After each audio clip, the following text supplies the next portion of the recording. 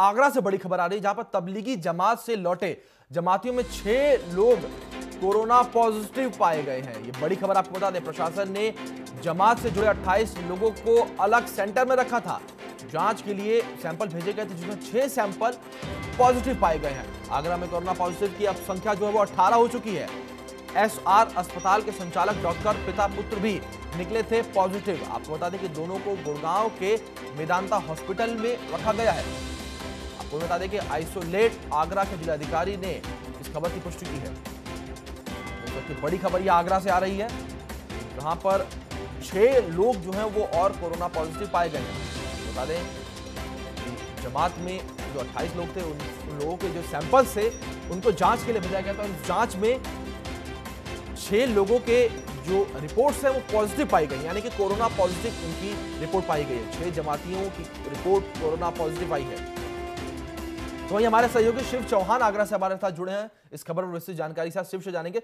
शिव, जिस प्रकार से जमातियों को लेकर सरकार अब सख्त दिख रही है, वहीं अब छह लोगों के जो सैंपल हैं, वो पॉजिटिव पाए गए हैं।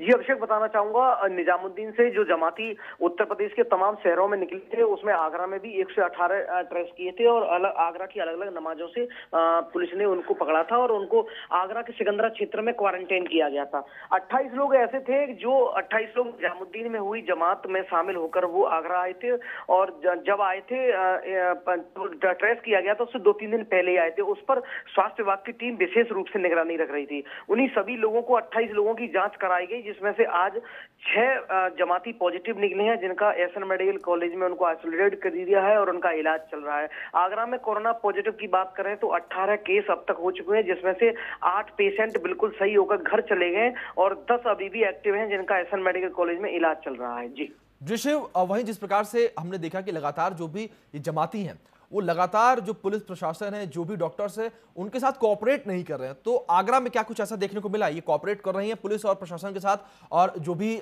मेडिकल स्टाफ है उनके साथ।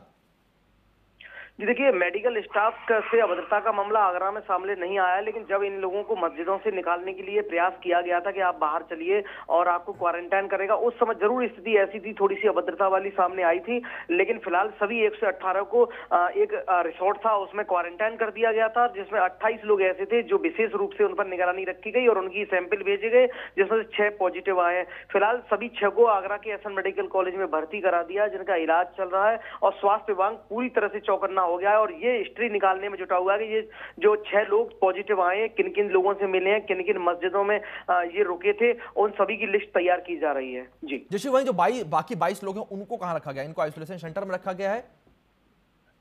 जी बिल्कुल, उनको भी एसर मेडिकल कॉलेज के दूसरे हिस्से में क्वारंटाइन किया गया है, उनको भी निगरानी निगरानी में रखा गया है, स्वास्थ्य विभाग की टीम उन पर लगी हुई है, उनका स्वास्थ्य परीक्षण कर रही है। ये सभी लोग जो नेगेटिव आए हैं, उनको जाने नहीं दिया गया, सभी डॉक्टरों की टीम की निगरानी में रखा है, और जो छह पॉजिटिव आए हैं, उनको आगरा के एसर मेडिकल कॉलेज में भर्ती करा दिया है। दूसरा, वहीं आगरा की बात करें तो आगरा में एक एस अस्पताल पड़ता है, वहाँ डॉक्टरों पिता पुत्र थे, जिनकी तबीयत खराब होने पर वो मेदांता चले गए, मेदांता में ही उनकी जाँच हुई वो मेदांता में ही दोनों पॉजिटिव आए हैं तो प्रशासन उसको भी गंभीरता से ले रहा है, क्योंकि जो अस्पताल आगरा में उनका प्रथा है, उनकी अस्पताल में 500 से 600 की भीड़ हर समय रहती है। सभी, जितना भी स्टाफ है, सभी को अस्पताल के अंदर कर दिया है और आज उनका स्वास्थ्य परीक्षण किया जाएगा। जी अभिषेक। बहुत बहुत शुक्रिया आपका हमारे साथ खबर जुड़ने के लिए।